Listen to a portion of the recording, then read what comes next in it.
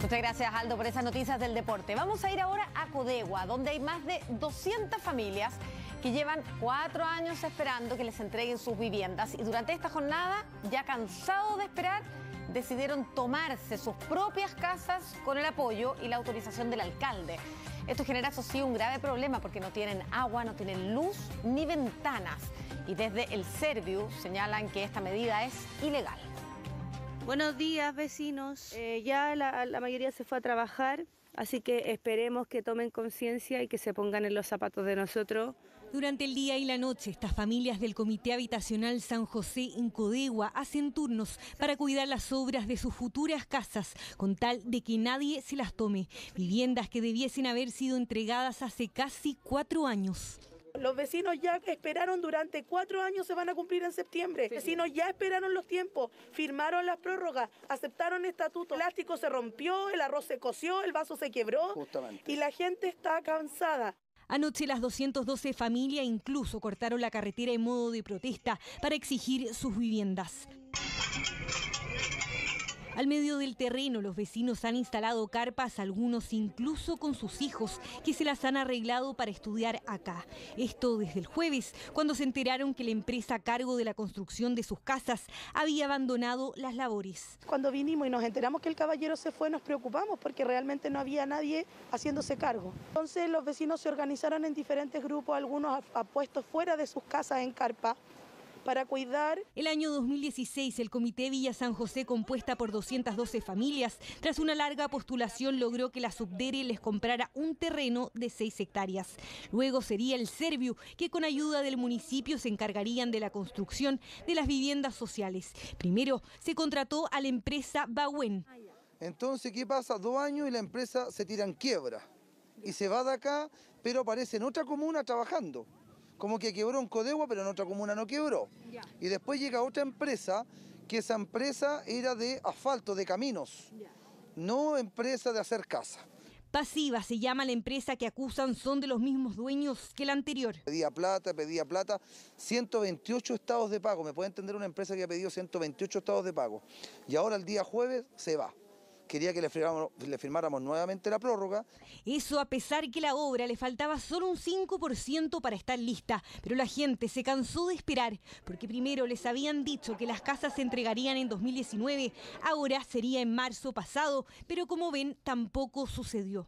Como ven, eh, no sé, pues mira, no hay pintura, no hay ventana, no hay puerta. Mi libreta de ahorro para la vivienda la abrí en el 2004, desde ese momento que yo estoy luchando por una casa. Y ahora que ya la tenemos prácticamente en las manos, no la quieren terminar. Pues. aquí esta debería ser la cocina. Ya. Como ven, no hay grifería, no hay nada, no hay conexiones. Esta mañana, tras las protestas de anoche, el municipio, junto a la directiva del comité, ofreció una solución.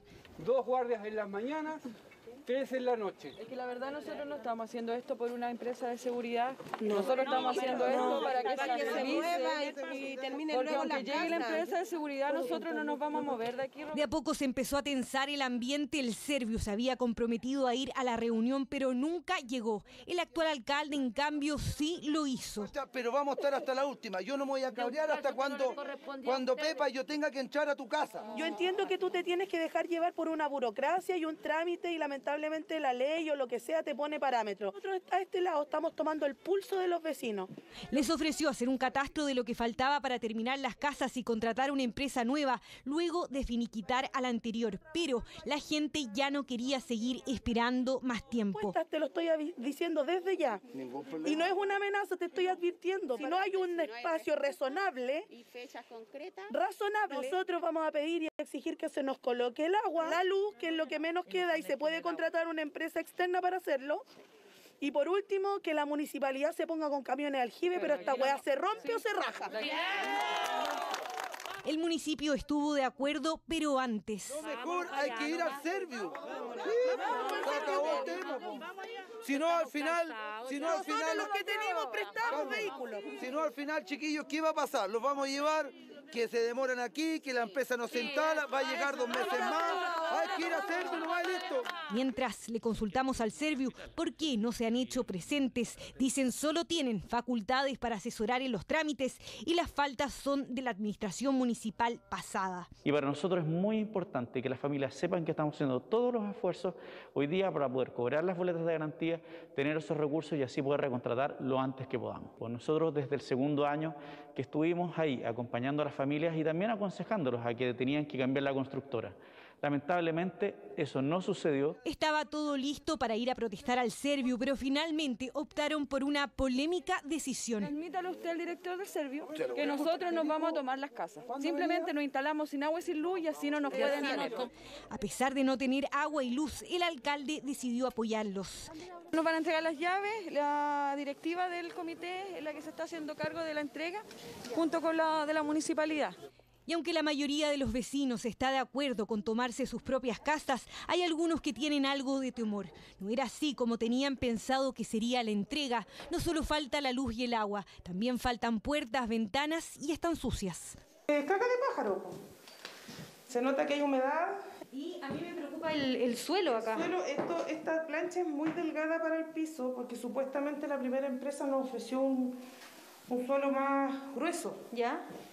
Y al llegar la segunda empresa, creo que por abaratar costos puso uno más delgado. Consultamos a la constructora pasiva por qué no terminaron las obras. Nos dijeron que enviarían declaraciones en un video que nunca llegó, pero según explicaron, fue porque el comité no les renovó el contrato dado a que no terminaban nunca, y eso se debe a que el Serviu no les pagó los últimos meses. Todo con su carnet de identidad en mano, por favor. Vamos a hacerle entrega y también tienen que firmar la entrega. Finalmente, así comenzó la entrega de las llaves. Desde el Servio advierten que tomarse una vivienda no finalizada es ilegal. No es recomendable porque también retrasa el hecho que nosotros podamos recontratar, porque cuando una persona se toma una vivienda pasa a ser tomataria y eso empieza a tener otros caracteres que son más complejos de solucionar. También cuando nosotros queremos recontratar una obra, lo más importante es que la obra esté sin gente. La primera llave entregada. ¿Qué se siente que te entreguen? Emoción, emoción, pero no lo esperaba todavía. Estás emocionada, pero igual te entregaron una casa no terminada. No terminaba, pero está. Casi entre lágrimas nos reafirma que no le importa. Es madre soltera y en esa casa vivirá con su pequeño hijo. La acompañamos a abrir lo que por años fue un sueño que por momentos pensó no llegaría nunca. Pero no nos podíamos dejar de preguntar cómo el Serviu no logró agilizar las cosas y el municipio permitió que habiten aquí en condiciones peligrosas. Bienvenida a mi casa, son los primeros en venir a mi casa.